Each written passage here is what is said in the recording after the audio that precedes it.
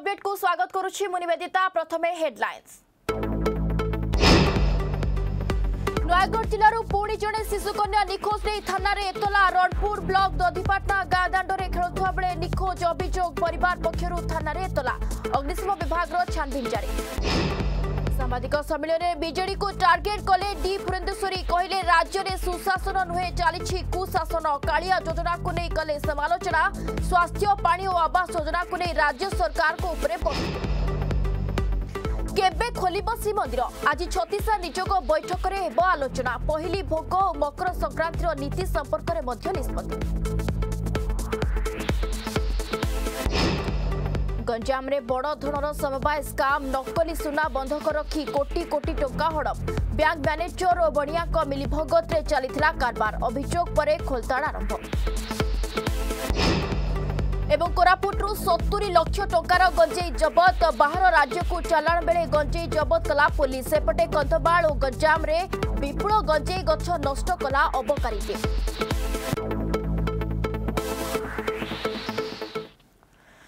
Bulletin ଆରମ୍ଭ କରିବା ଏକ ବଡ଼ ଖବର। ନୟାଗଡ଼ ଜିଲ୍ଲାରୁ ପୁଣି ଜଣେ ଶିଶୁ କନ୍ୟା ନିଖୋଜ ହୋଇଥିବାର ଅଭିଯୋଗ ହୋଇଛି। ଏନେଇ ଥାନାରେ ଏତଲା ବି ଦିଆଯାଇଛି। ନୟାଗଡ଼ ଜିଲ୍ଲାର ରଣପୁର ବ୍ଲକ ଅନ୍ତର୍ଗତ ଦଧିପାଟଣା ଗାଁର ସଞ୍ଜୟ କୁମାର ସାହୁଙ୍କ ତିନି ବର୍ଷର ଝିଅ ଦାଣ୍ଡରେ ଖେଳୁଥିବା ବେଳେ ନିଖୋଜ ହୋଇଛି। ଏନେଇ ସୁନାଖଳା ଫାଣ୍ଡିରେ ଗତକାଲି ଏତଲା ଦେଇଥିଲେ। ସଞ୍ଜୟ କୁମାର ସାହୁଙ୍କ ଅଭିଯୋଗ ଅନୁଯାୟୀ ଗତକାଲି ଅପରାହ୍ନ ତିନିଟା ବେଳେ ହରପ୍ରିୟା ଦାଣ୍ଡରେ ଖେଳୁଥିବା ବେଳେ ନିଖୋଜ ହୋଇଛି। ଅଭିଯୋଗ ମିଳିବା ପରେ ପୋଲିସ ଅଗ୍ନିଶମ ବାହିନୀ ଏବଂ ଓଡ୍ରାଫ୍ ଟିମ୍ ଗାଁରେ ଥିବା ତିନୋଟି ପୋଖରୀ ଓ ନିକଟସ୍ଥ ଜଙ୍ଗଲରେ ଖୋଜାଖୋଜି କରିଥିଲେ। ମାତ୍ର କେଉଁଠାରେ ହରପ୍ରିୟାଙ୍କ ପତ୍ତା ମିଳିନଥିବା ଜଣାଯାଇଛି। ଏବେ ରଣପୁର ଥାନା ଆଇଆଇସି ଜ୍ୟୋତିପ୍ରକାଶ ପଣ୍ଡା ଦଧିପାଟଣା ଗାଁରେ ଡେରା ପକାଇଛନ୍ତି।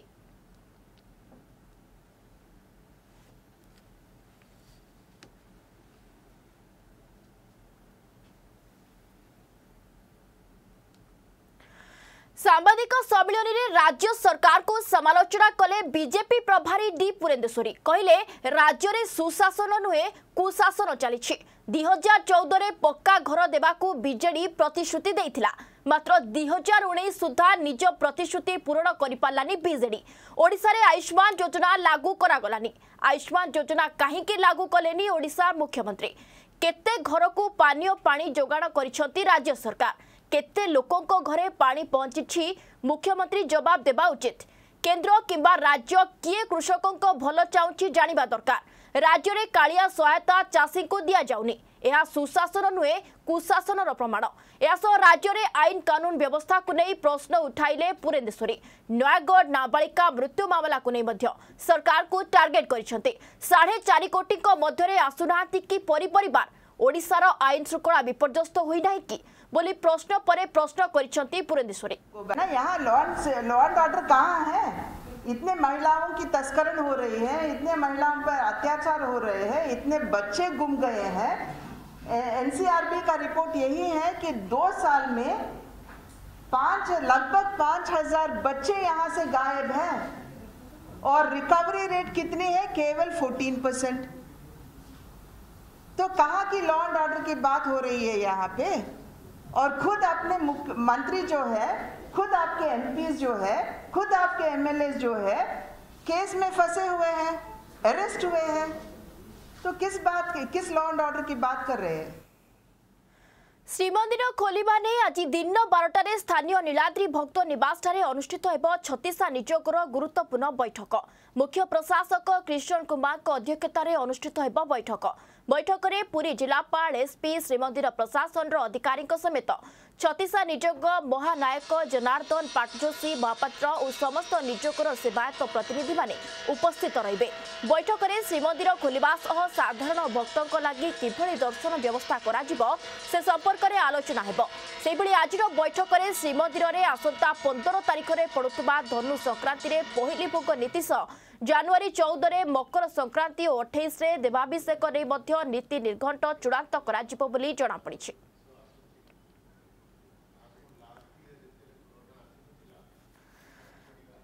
ତେବେ ଅଧିକ ଆଲୋଚନା ପାଇଁ ଯିବା ପୁରୀ ଏବଂ ପୁରୀରେ ଆମ ପ୍ରତିନିଧି ଆଲୋକ ଆଶୁତୋଷ ଅଛନ୍ତି। ଆଲୋକ ଏ ବୈଠକ ଗୋଟିଏ ପରେ ଗୋଟିଏ ବୈଠକ ବସୁଛି ଏବଂ କୋଉଠି ନା କୋଉଠି ନିଷ୍କର୍ଷ ବାହାରି ପାରୁନି। ଆଉ କେତେ ଦିନ?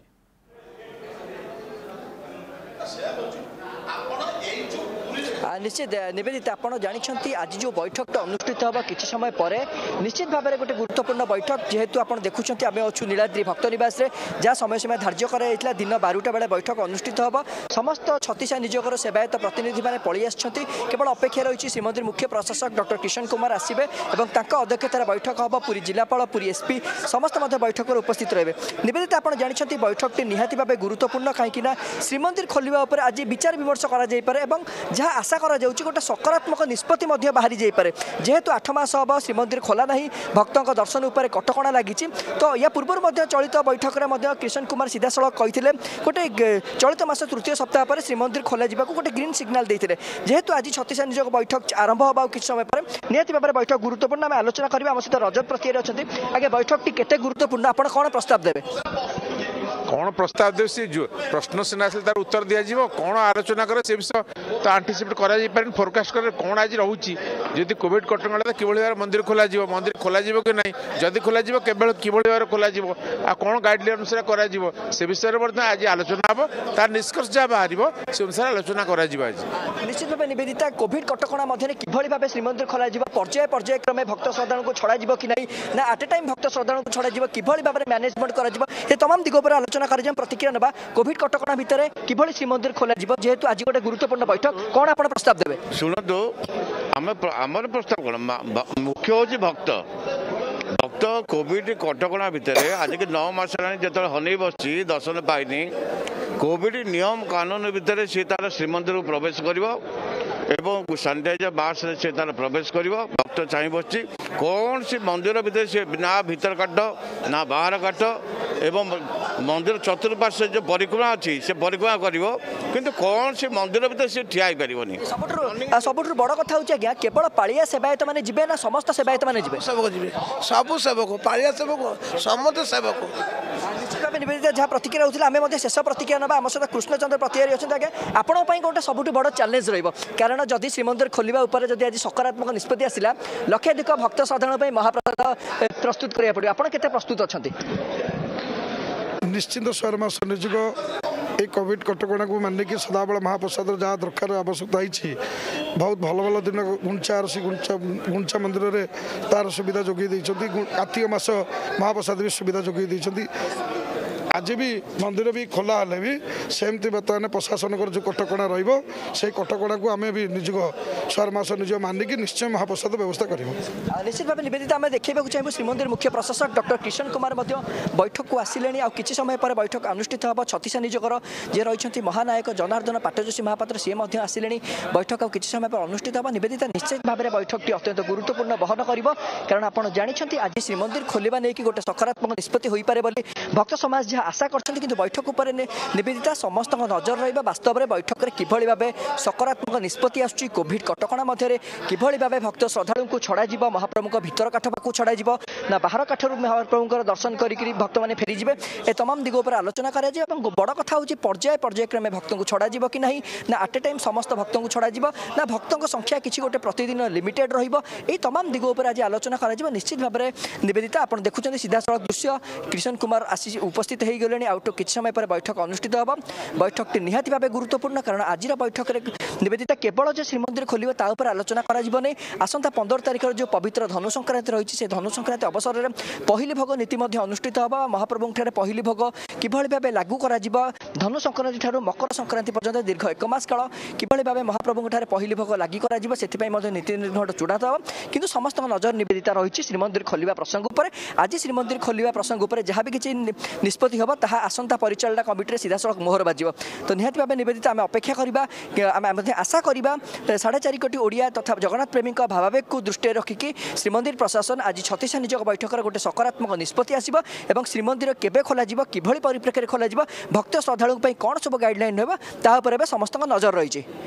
ଆଲୋକ ବୈଠକଟି ଅତ୍ୟନ୍ତ ଗୁରୁତ୍ୱପୂର୍ଣ୍ଣ ଏବଂ ଛତିଶା ନିଯୋଗ ବୈଠକ ପରେ ପ୍ରକୃତରେ କିଛି ଗୋଟେ କ୍ଲିୟର କଟ୍ ସନ୍ଦେଶ ଆସିବ ଏବଂ ଯେଉଁଭଳି ଭାବେ ଭକ୍ତମାନେ ଭଗବାନଙ୍କ ଦର୍ଶନରୁ ବଞ୍ଚିତ ରହିଛନ୍ତି ସେମାନେ ମଧ୍ୟ ବ୍ୟାକୁଳତାର ସହିତ ଅପେକ୍ଷା କରିଛନ୍ତି ପ୍ରକୃତରେ ବୈଠକରେ କ'ଣ ନିଷ୍ପତ୍ତି ହେଉଛି ଏବଂ ଆମେ ଯାହା ଚିତ୍ର ଦେଖୁଥିଲେ ମୁଖ୍ୟ ପ୍ରଶାସକ କୃଷ୍ଣ କୁମାର ମଧ୍ୟ ପହଞ୍ଚିଗଲେଣି ଆଉ କିଛି ସମୟ ପରେ ବୈଠକ ଆରମ୍ଭ ହେବ। ବହୁତ ବହୁତ ଧନ୍ୟବାଦ ଆଲୋକ ଆପଣଙ୍କ ସୂଚନା ପାଇଁ।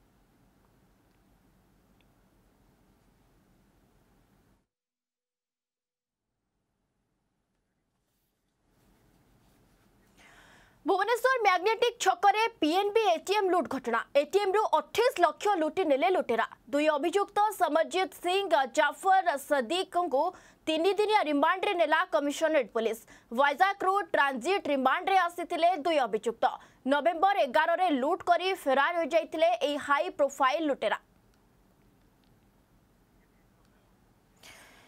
তবে ভুবনেশ্বর ম্যাগনেটিক ছকরে পিএনবি এটিএম লুট ঘটনা তবে এটিএম রু যে অঠেইশ লক্ষ টঙ্কা লুটরা মানে লুটি নেই দুই অভিযুক্ত লে সমজিত সিং এবং জাফর সদিক এই দুই জনক তিনদিনিয়া রিমান্ডে কমিশনরেট পুলিশ আনিছে এবং ওয়াইজাক্রু ট্রানজিট রিমান্ডে দুই অভিযুক্ত আসিছেন যেহেতু নভেম্বর এগারে এই লুটেরা মানে হাই প্রোফাইল লুট করে ফেরার হয়ে যাই যেপাই এমানকু যা সূচনা আসুছি কি তিনদিনিয়া রিমান্ডে কমিশনরেট পুলিশ আনুচি সে পচরাউচরা করব প্রকৃতরে কীভাবে ভাবে লুট হয়েছিল পুরা ঘটনা কণ লা কেউ প্রোসেসে সে লুট করুলে এবং যেহেতু এই লুটটি হাই প্রোফাইল লুট লা বাহার সহিত এর লিঙ্ক রয়েছে বাহার রাজ্য সহ লিঙ্ক রয়েছে তেণু কমিশনরেট পুলিশ যেতবে এই দুই অভিযুক্তকে অর্থাৎ ଯେତେବେଳେ ଏହି ଦୁଇ ଅଭିଯୁକ୍ତଙ୍କୁ ଅର୍ଥାତ୍ ଯିଏ ରହିଛନ୍ତି ଅଭିଯୁକ୍ତ ସମରଜିତ ସିଂ ଏବଂ ଜାଫର ସଦିକକୁ ତିନି ଦିନିଆ ରିମାଣ୍ଡରେ ଆଣିବ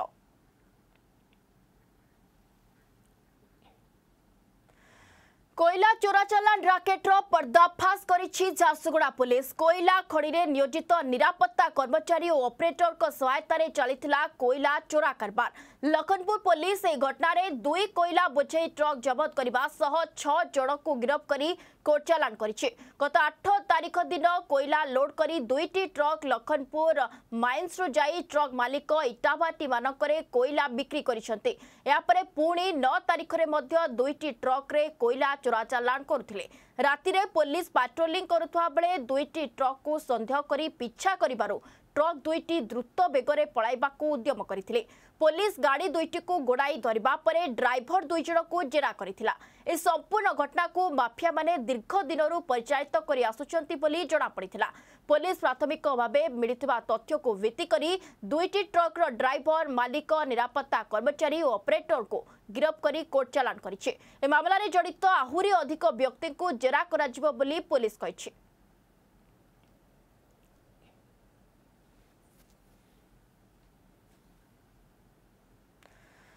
ଭଦ୍ରକ ଜିଲ୍ଲା ଚାନ୍ଦବାଲି ବ୍ଲକ ଘଣ୍ଟେଶ୍ୱରରେ ଥିବା ଦୁଗ୍ଧ ଶୀତଳୀକରଣ କେନ୍ଦ୍ରରେ ଚାଷୀଙ୍କୁ ଶୋଷଣ କରାଯାଉଥିବାର ଅଭିଯୋଗ ହୋଇଛି। ଏନେଇ ଆଜି ଧାରଣା ଦେଇଛନ୍ତି କିଛି ହିତାଧିକାରୀ। ବଜରାପୁର ବାଲିଆପାଳ ରାଜଗୁରର ଶତାଧିକ ଚାଷୀଙ୍କୁ ଉକ୍ତ ସୋସାଇଟିରେ ଜାଣିଶୁଣି ମେମ୍ବର କରାଯାଉନାହିଁ। ସେମାନେ ଉକ୍ତ ସୋସାଇଟିରେ ଭଲ କ୍ଷୀର ଦେଉଥିଲେ ମଧ୍ୟ ତାଙ୍କୁ ନିର୍ଦ୍ଧାରିତ ଟଙ୍କାଠାରୁ ଢେର କମ୍ ମିଳୁଛି। ଏଠାରେ କାର୍ଯ୍ୟରତ ସୁପରଭାଇଜର ଓ ରାମଚନ୍ଦ୍ର ମହାପାତ୍ର ମିଶି ଚାଷୀଙ୍କୁ ଶୋଷଣ କରୁଥିବାର ଅଭିଯୋଗ କରିଛନ୍ତି ମେମ୍ବରମାନେ। ଏପରିକି ଘଣ୍ଟେଶ୍ୱର ସୋସାଇଟିରେ ଚାଷୀଙ୍କ ପାଇଁ ଆସୁଥିବା ଗୋଖାଦ୍ୟ ଓ ବ୍ୟବହୃତ କେଟଲିକୁ ସୁପରଭାଇଜର ଓ ରାମଚନ୍ଦ୍ର ଚାଷୀଙ୍କୁ ନ ବାଣ୍ଟି ହଡପ ହେଉଥିବାର ଅଭିଯୋଗ ହୋଇଛି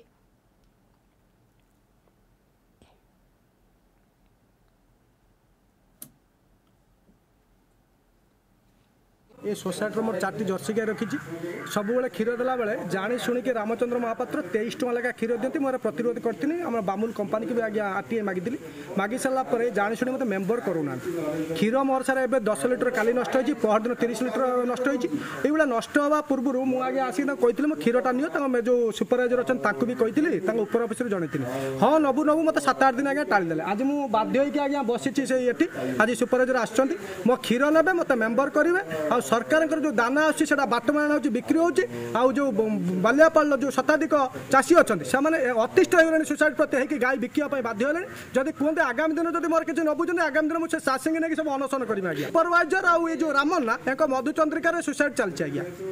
ଆମକୁ ଆରଟିଆଇରେ ମାଗୁଛନ୍ତି ବାମୁଲ କମ୍ପାନୀ କ୍ଷୀର ନେଉନି କିନ୍ତୁ ପ୍ରତିଦିନ ଗାଡ଼ି ଲାଗୁଛି କ୍ଷୀର କୁଇଣ୍ଟାଲ କୁଇଣ୍ଟାଲ ଗା- ଯାଉଛି କ୍ଷୀର ଆଜ୍ଞା ସେ ଅଭିଯୋଗ କଲେ ମଧ୍ୟ ଯେହେତୁ ତାଙ୍କର ଆମ ପାଖରେ ସେ ମେମ୍ବର ହେଇନାହାନ୍ତି କାହା ଜରିଆରେ କ୍ଷୀର ଦେଇଛନ୍ତି କାହା ଜରିଆରେ କ୍ଷୀର ଦେଇଛନ୍ତି ସେ ଯାହା ଜରିଆରେ କ୍ଷୀର ଦେଇଥିବେ ସେ ତାଙ୍କର ପଇସା ପାଇଛନ୍ତି ଆମର ରେକର୍ଡ ଅନୁସାରେ ଆମ ପାଖରେ ସେ କ୍ଷୀର ଦେଇନାହାନ୍ତି ଆମକୁ ପଇସା ନେଇନାହାନ୍ତି ଅସୁବିଧା କିଛି ନାହିଁ ଜଣେ ଯଦି କ୍ଷୀର ଦବ ସିଏ ଆମର ମେମ୍ବର ହେଲେ ସେ କ୍ଷୀର ଦବ ଆଉ ତାର ଟେଷ୍ଟ ଅନୁସାରେ ପଇସା ନେବ ଆଉ ତା ପଇସାଟା ବ୍ୟାଙ୍କରେ ପେମେଣ୍ଟ ବର୍ତ୍ତମାନ ସେ କହିଲେ ମୋତେ ମେମ୍ବର କର ଆଉ ମୋର ବ୍ୟାଙ୍କରେ ପଇସା ପେମେଣ୍ଟ କର। ଆମେ ସେଥିରେ ପ୍ରସ୍ତାବରେ ରାଜି ଆମେ ତାକୁ ମେମ୍ବର କରିବୁ ତାଙ୍କର ବ୍ୟାଙ୍କ ଆକାଉଣ୍ଟକୁ ଦେଲେ ତା ବ୍ୟାଙ୍କ ଆକାଉଣ୍ଟକୁ ପଇସା ଯିବ ଦାନା ଆମର ଯେଉଁ ଆସୁଛି ଏଠିକି ରିକ୍ୱାରମେଣ୍ଟ ଅନୁସାରେ ଆସୁଛି। ରିକ୍ୱାରମେଣ୍ଟ ଅନୁସାରେ ଯେଉଁ ଚାଷୀମାନେ ଯେତିକି କ୍ଷୀର ଦେଉଛନ୍ତି ସେଇ ଅନୁସାରେ ସେମାନେ ଦାନା ପାଇବେ।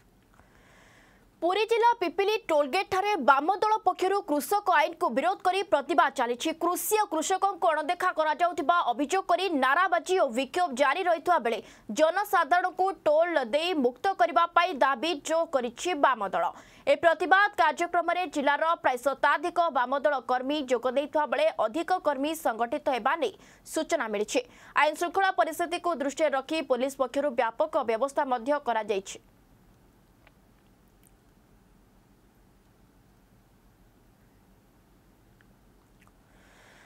ପୁରୀ ଗସ୍ତରେ ବିଜେପି ରାଜ୍ୟ ପ୍ରଭାରୀ ଡି. ପୁରେନ୍ଦ୍ର ଆଜି ସକାଳୁ ସକାଳୁ ପୁରୀରେ ପହଞ୍ଚି ପତିତପାବନଙ୍କ ଦର୍ଶନ କରିଛନ୍ତି ବିଜେପି ରାଜ୍ୟ ପ୍ରଭାରୀ। ଏହି ଗସ୍ତ କାଳରେ ଶ୍ରୀମନ୍ଦିର ଖୋଲାଯାଉ ବୋଲି ସେ ଦାବି କରିଥିଲେ। ଦେଶରେ ବିଭିନ୍ନ ସ୍ଥାନରେ ମନ୍ଦିର ଖୋଲାଯାଇଥିବାରୁ ପୁରୀ ଶ୍ରୀମନ୍ଦିର ଖୋଲିବା ନେଇ ଦାବି କରିଛନ୍ତି। ବଗଲା ଧର୍ମଶାଳା ବିକ୍ରି କରାଯାଇଥିବାରୁ ଅସନ୍ତୋଷ ବ୍ୟକ୍ତ କଲେ ଡି. ପୁରେନ୍ଦ୍ର ମୁଖ୍ୟମନ୍ତ୍ରୀ ଏନେଇ ତୁରନ୍ତ ପଦକ୍ଷେପ ନେବାକୁ ସେ ଦାବି କରିଛନ୍ତି। ତାଙ୍କ ଗସ୍ତ ସମୟରେ ଭାରତୀୟ ଜନତା ପାର୍ଟିର ଜିଲ୍ଲା ସଭାପତି ପୁରୀ ବିଧାୟକଙ୍କ ସମେତ ଲେଖାଶ୍ରୀ ସାମନ୍ତ ଓ ଅନେକ କର୍ମକର୍ତ୍ତା ଉପସ୍ଥିତ ଥିଲେ।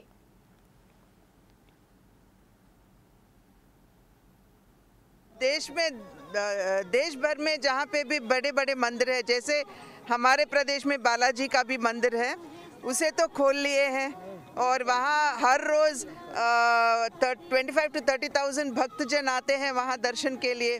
तो यहाँ जगन्नाथ जी का मंदिर नहीं खोलना ये खिलवाड़ है यहाँ के लोगों के साथ और हम बीजेपी की तरफ़ से हम डिमांड करते हैं जैसे आ, कि जल्द ही जल्द मंदिर को खुलवाएँ और इसी के साथ मंदिर के जो भी प्रॉपर्टीज़ होते हैं हमें यहाँ ज्ञात हुआ कि यहाँ के जो जगन्नाथ मंदिर जी के जो भी हाँ धर्मशाला है उसको बेचने बेचने का तो तैयारी बेच दिए हैं जिसपे हमारे यहाँ के सांसद जो लड़े संबित पात्रा, वो भी कोर्ट में गए। इसलिए हम डिमांड करते हैं बीजू पटनायक जी से सॉरी, नवीन पटनायक जी से, कि वे जल्द ही जल्द मंदिर को खोलें और प्रभु के जो भी प्रॉपर्टीज़ है, उन सब का संरक्षण करें। तेज समय सरी बुलेटिन को एठो कुछ अधिक खबर देखु था अर्गस न्यूज़। नमस्कार।